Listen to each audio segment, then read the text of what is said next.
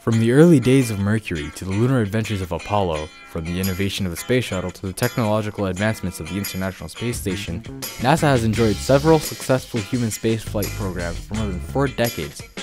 Mercury, America's first human spaceflight program, introduced the nation and the world to its first astronauts. Today, NASA conducts many experiments in space. This is a short explanation on the CCISS experiment conducted by Canadian astronaut Dr. Robert Thirsk. CCISS, which is spelled CCISS, stands for Cardiovascular and Cerebrovascular Control on Return from the International Space Station. That's a long name for uh, an experiment. It is Canadian. It comes from the University of Waterloo. The lead scientist is Dr. Richard Hughson, and I had the privilege of being an astronaut subject while I was aboard the space station a few years ago for the CCISS experiment. One out of four astronauts returning from spaceflight experiences cardiovascular irregularities and some dizziness. Some even faint. This is a phenomenon that occurs usually just on the first day after return from spaceflight. The purpose of CCISS was to do measurements before and after flight of the control mechanisms for the heart, blood vessels, and flow to the brain to see whether any changes occurred in astronauts and accounted for their susceptibility to dizziness. The adaptation of the heart and the blood vessels to spaceflight is complicated and it's not fully understood.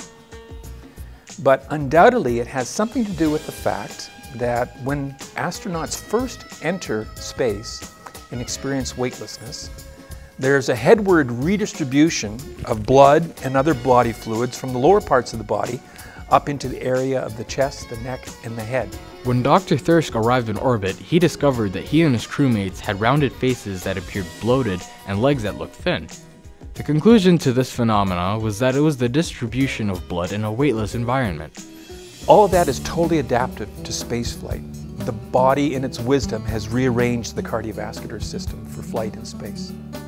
The problem occurs when astronauts return to Earth. When astronauts return, the blood volume which had been located in the upper extremities now quickly redistributes to the lower extremities due to gravity. This results in reduced blood around the heart. That's why during the first uh, few hours back on Earth, some astronauts experience dizziness and some even faint because the cardiovascular system's ability to maintain blood pressure is not 100%.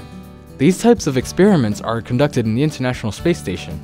In my opinion, the International Space Station is one of the best facilities for doing research. It's the only facility that we have for doing weightlessness research. And it's a marvelous facility to do medical research. The CCISS experiment is well developed and intended to improve the health and well-being of astronauts in space. CCISS collected a lot of data before flight, during flight, and also after flight as well. So for instance, uh, during flight, there were several periods of time throughout my six months uh, in space where I donned um, medical sensors on my chest, on my fingers, on my wrist, on my waist, on my, on my ankles. And these sensors monitored my heart rate, they monitored my blood pressure, and also my activity level as, as well. 30 days before flight and a few days after flight, measurements were taken to determine if any irregularities were still prominent. The astronauts that participated in CCISS did one other interesting um, experiment as, as well. Uh, before and after flight, we inserted the lower parts of our body into a large sealed box or chamber. And uh, Dr. Hughson and his um, lab mates uh, placed a small vacuum inside that box. This box caused the astronauts' blood to redistribute down to the lower parts of their bodies, stressing their cardiovascular systems. This provided invaluable data on blood control mechanisms that they would experience when returning from space missions. When Dr. Thirsk returned from space, he experienced cold sweating, facial pallor, dizziness, and fatigue. I did not faint, but the doctors that were taking care of me on landing day were very worried about my blood pressure, which was alarmingly low. The doctors gave Dr. Thirsk one liter of saline solution to increase his blood pressure into normal ranges.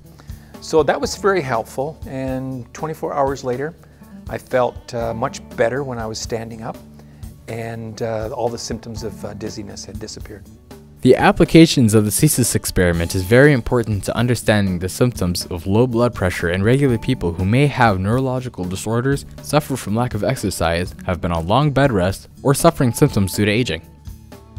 Just like many other studies have told us before, it's really important for humans to keep active. Astronauts exercise for two hours every day on orbit in order to maintain our cardiovascular fitness. And that works great for our activities on orbit. Uh, and it's a message that we need to transmit to people on Earth as well. The cardiovascular fitness depends on how much exercise we do every day and how much uh, daily activity we see. The exploration of space is not without its risk, and NASA has unfortunately had to deal with accidents. There have been two accidents uh, involving the space shuttle so far. We lost some, some really good friends. One of those accidents occurred uh, during uh, reentry. It had nothing to do with the physical state of the astronauts. It was an imperfection in the, um, in the outer covering of, of the space shuttle. Imagine that the commander or the pilot who is steering the, the shuttle or the spacecraft home suddenly feels dizzy as the, the G-forces begin to come on during, um, during reentry. So you cannot have a dizzy astronaut flying the shuttle back home.